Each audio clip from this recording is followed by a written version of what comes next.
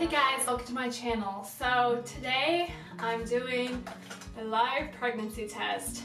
I'm 10 DPO. It's actually the evening, so this is a horrible time to be taking this test. But I'm so nervous and I just want to know, and it's probably going to be negative and I have prepared myself for it to be negative. But in the case that it's a positive, oh, that would be so exciting. Yeah, I'm just using my cheapie today. I do have some first response um, that I plan to take later in the week. So again, if I get a negative, it'll just help relieve my anxieties. I just want to know one way or the other. So, I've got my red solo cup here. I'm staying really classy today. Um, and yeah, we're gonna go ahead and take this test.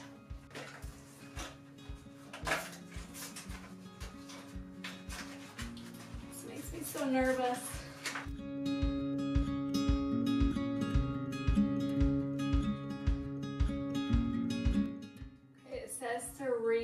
Results after three minutes, so I'm gonna go ahead and set my timer. Oh, my heart is pounding. Set my timer for three minutes. I know I shouldn't be staring at it like a crazy person, but infertility will do this to you. I know sometimes people say that they've been having symptoms um, after trying for two and a half years. I don't really try to symptom spot anymore just because, you know, there's been so much disappointment and there's been months where I could have sworn that I was pregnant and I wasn't pregnant. Um, so yeah, I try not to overthink all the small little symptoms, but yeah, I knew I shouldn't have taken this test today. Guess we're only a minute in, but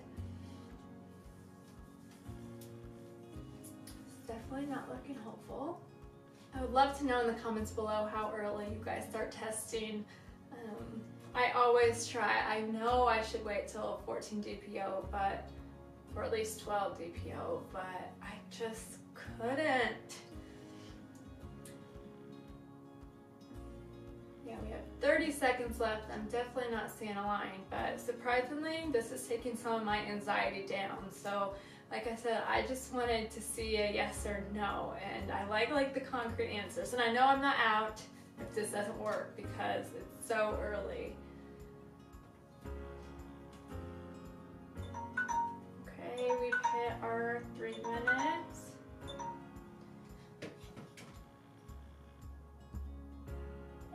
Is definitely negative. So we'll show this to you. I don't know if you could see that, but it would focus.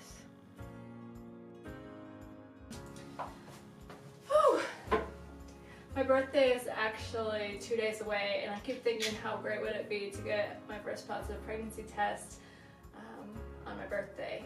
Maybe I'll try to hold off and test again until then. Yeah, is all I have for today. Stay tuned. Good morning guys. So it's a little bit early. Um, it's the next day, so it's Wednesday. I know I should wait, like I said in my previous video, but if you've ever been in this situation, you can't wait. So I'm using um, early morning urine this morning. I'm also going to be using a first response. So oh, I'm a little bit nervous again. I haven't really had any symptoms, so I don't have my hopes really high, but yeah, I'm excited just to take this test and see what it says. So don't mind this. I'm still in the process of getting ready, but I wanted to share this with you. So let's do it.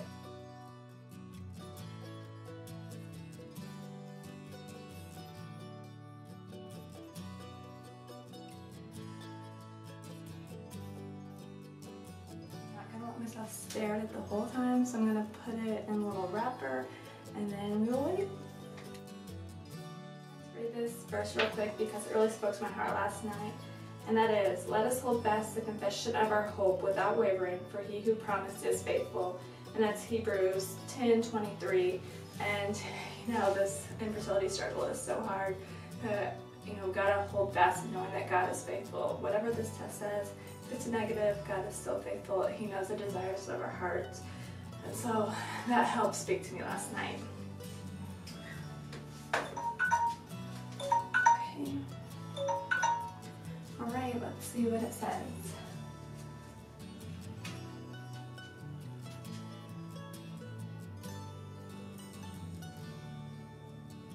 Okay, I don't know if this is gonna focus very well. It's pretty dark in here, but it is clearly a negative. I know some people at this point can see some kind of line, but I am not seeing anything at all. So, you guys, this really isn't looking that hopeful.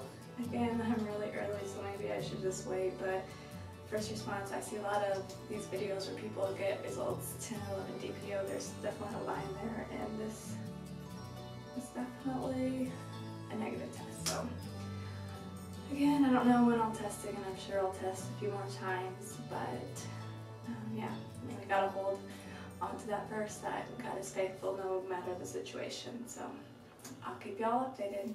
Good morning.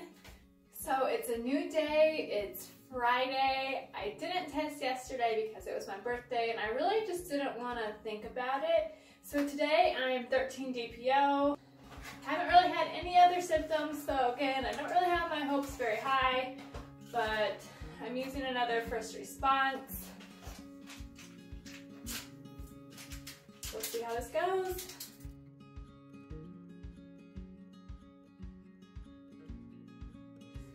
Cover it with the box because I don't want to look at it. Um, I forgot my timer, so I'm gonna go run and get the timer and I'll be right back.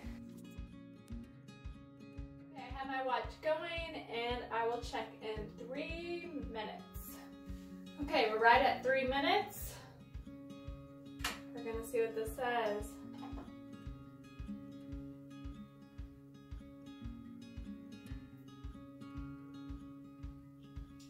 Okay, I don't know if you can see this.